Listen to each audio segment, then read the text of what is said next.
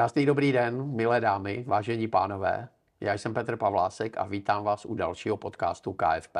A společně se mnou je tady můj kolega a partner Petr Sirový a budeme se bavit o DIPu a o finanční nezávislosti. Ahoj Petře. Ahoj Petře. Petře, my jsme se v minulé kapitole eh, bavili o tom, že jenom DIP nestačí, pokud chce klient rentu dříve než v 60 letech, ale že může významně pomoct. Eh, když už víme, že DIP je nástroj, který nám může významně pomoct, tak je samozřejmě velmi důležité, do čeho ty peníze investují. A, takže co bys mi poradil? Poradil bych eh, podívat se na konec. To znamená konec, kdy začínám čerpat rentu.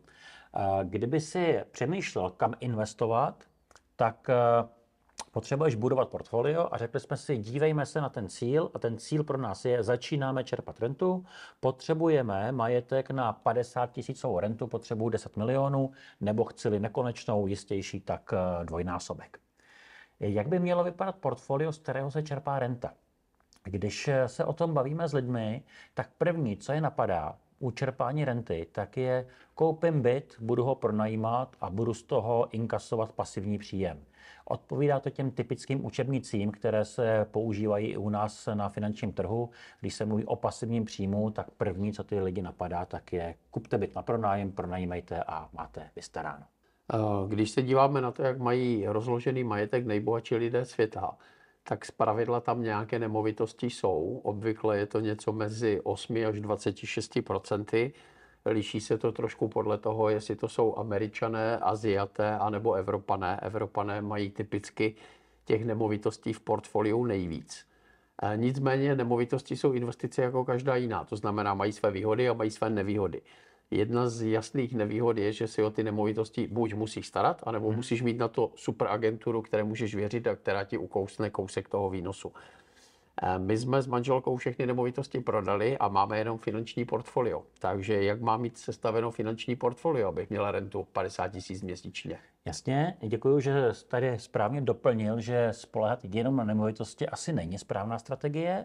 Další možnost je mít v portfoliu třeba jednu nemovitost a zbytek doplnit s finančními aktivy.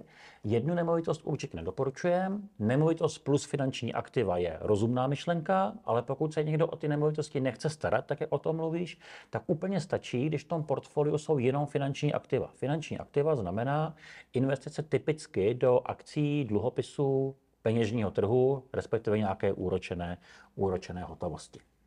No a jak by takové portfolio mělo vypadat v době čerpání renty? Eh, typicky se doporučuje, aby to portfolio mělo podstatnou akciovou složku, řekněme půlku v akcích a půlku v dluhopisech a v hotovosti.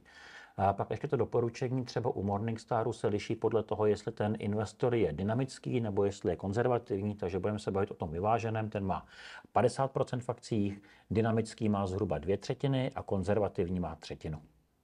Pokud teda zůstaneme u toho, že máme většinu klientů vyvážených, tak mám půlku v akcích a půlku v těch konzervativních instrumentech s tím pevným výnosem. Ty jsi zmiňoval, že mm, ta, ta klíčová myšlenka je vidět, jak to dopadne na konci. A jak mám ale pracovat, když ještě na tom konci nejsem a chci k tomu konci dojít? U toho konce jsme si řekli, že bezpečné místo, nebo ten cíl je zhruba půlka v akcích. A ty akcie máme v portfoliu ne proto, že mají vyšší výnos, ale máme tam proto, že mají větší bezpečí. Tam menší riziko, že přijdu o peníze, protože mi je sežere inflace. A eh, chci eh, se dostat do stavu, kde mám 50% v akcích, a ještě mám dost času na to budování portfolia, tak to znamená, že můžu si dovolit vyšší kolísání, vyšší volatilitu, to znamená, může tam být vyšší podíl akciové složky. Takže čím delší doba na investování, tím větší podíl akciové složky. A kdybych to měl říct nějak zjednodušeně, tak třeba pět let před tím, než budeš čerpat rentu, tak neměj v akcích 50, ale třeba 55% A máš-li 10, 15, 20 let na čerpání renty, tak potom ten akciový podíl se blíží ke 100 Učebnice typicky nechtějí říct úplně stovka, tak říkají třeba 92% v akcích, ale zase prakticky, jestli v akcích 92% nebo 100 je v podstatě jedno, tam pak se jenom řeší nějaká technická záležitost, jestli tam má být nějaká technická rezerva na placení poplatků a, a, a podobné věci. Takže když si pro zjednodušení řekneme všechno v akcích, investují na 30 let, na 20 let, pořád všechno v akcích a potom eh, brzděme něco mezi 100% akcie a 50% akcie. Tohle to znamená skonzervativňovat. Rozumím tomu, takže čím více času, tím věč, s větším eh, podílem akcí začínám startovat. Čím více se blíží ten rentierský věk, kdy chci začít tu rentu čerpat, tím více blížím tomu ideálnímu cílovému stavu, té cílové fotografii. Jak to, že v té cílové fotografii na konci je ještě tolik akcí? Ty jsi zmiňoval eh, dynamický investor nebo takový ten eh, nebojácný investor, dvě třetiny akcí, takový ten vyvážený polovina a ten velmi konzervativní zhruba třetina. Jak to, že i ten velmi konzervativní investor tam má mít ještě třetinu v akcích? Tam je Petře klíčová otázka, kdy rentier bude potřebovat peníze. Já se na to ptám na školeních a někdy dostávám eh, odpověď, že vlastně potřebuje hned, že vlastně to portfolio by nemělo mít akcie, protože když čerpám z toho portfolia, tak si nesmím dovolit poklesy. Akorát eh, ti účastníci kurzů si většinou neuvědomují, že ta renta se čerpá 10, 15, 20, 30 let, že u lidí, kteří čerpají rentu od 60 let, tak eh, se rozpočítává typicky renta do 85 v zahraničí, ale jsou poradci, kteří si vyzkoušeli, že když klientovi řekne renta do 85, tak klient říká, a co bude potom? Já to chci na díl. Takže ta renta je typicky 25 let a víc, takže 25 není žádný extrém, 30 taky není žádný extrém a on potřebuje čerpat peníze za rok, dva, tři, ale taky za 10, 15, 20 nebo taky za 25 let. Mm-hmm. A to portfolio na rentu potřebuje mít bezpečně uložené peníze na rok, dva, tři, to je ta hotovost, případně dluhopisy, a také bezpečně uložené peníze na 15, 20, 25 let. A bezpečně uložené peníze na 25 let jsou právě v akciových investicích.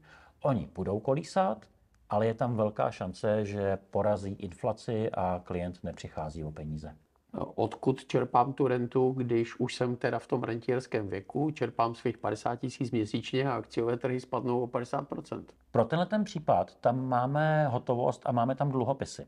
Já jsem říkal, že bychom měli mít bezpečně zainvestováno na rentu na 1, 2, 3, 5 let a to jsou přesně dluhopisy a hotovost, takže čerpám z dluhopisu a z hotovosti a, a akcie mají tím pádem dost času na to, aby se mohly zotavit, aby eh, nějaký průšvih, který přišel na kapitálový trh, tak aby se eh, všechno vyřešilo. A je nějaký rozdíl mezi portfoliem v tom rentierském věku, když chci nekonečnou rentu a když tu rentu mám rozpočítanou třeba do těch 85-90? Je v tom rozdíl, to nekonečné portfolio má malinko vyšší podíl akcí, ale ne výrazně. V čem potom dál je rozdíl, jestli mám portfolio na 30 let, anebo na nekonečno, tak je vlastně stejné. Akorát, když mám portfolio na 30 let a čerpám z něj, tak po deseti letech už mi chybí jenom 20, pak mi chybí jenom 15 a kdybych šel takhle ty krůčky dál a dál, tak pak mi chybí poslední tři roky a když mi chybí poslední tři roky, tak už musím mít rentu na tři roky, to znamená všechno v hotovosti anebo v dluhopisech. To nekonečné portfolio má výhodu v tom, že pořád mám stejné období před sebou. Když z nekonečna ukradnu tři roky, tak pořád mám před sebou nekonečno, takže pořád to portfolio vypadá stejně. Mm-hmm. Líp se s tím pracuje, jednodušeji se to potom spravuje pro klienty. Takže portfolio na nekonečnou rentu vypadá vlastně pořád stejně, protože ano. mám pořád stejně daleko do konce, do nekonečna. 50% akcie, 50% konzervativní složka, kdežto to portfolio na konečnou rentu začínáme stejně, 50% akcie, 50% konzervativní složka, ale tak, jak se blíží to období vyčerpání renty, tak se mi pořád snižuje podíl akcí, až na konci mám jenom hotovost, jenom ty bezpečné, nejbezpečnější eh, instrumenty. Akorát tady se, Petře, bavíme teoreticky, protože já nemám zkušenost s tím, že by někdo čerpal portfolio 25 let, že by začal v 60 letech čerpat portfolio. Dneska mu bylo 85 a už se mu řeklo tak a máme rozložené portfolio na poslední tři roky. Eh, tady ten model té konečné renty je zajímavý pro vysvětlování, pro prodávání, eh, pro představu, pro představu ale potom eh, mám vyzkoušeno, že u všech poradců, kde se ta renta čerpá, tak se stejně nakonec přechází nějakým způsobem buď to na rentu nekonečnou, anebo když se těžko pracuje s pojmem nekonečno, se řekne do 100 let a pro eh, ty klienty rozdíl nekonečná a 100 let je v podstatě to samý. Já myslím, je málo 98 letých klientů, kde by se ten rozdíl projevil. Já myslím, že to je logické, že když už ten člověk jako buduje 20-30 let majetek, tak ho nechce rozfofrovat a většina eh, klientů chce, aby něco zůstalo dětem. A navíc ta nekonečná renta má tu výhodu, že klient nemusí přemýšlet, co se stane, až mu dojdou prachy, jestli umře v 90, jestli mu ty peníze dojdou v 95 nebo 85 a co bude potom. Mm-hmm.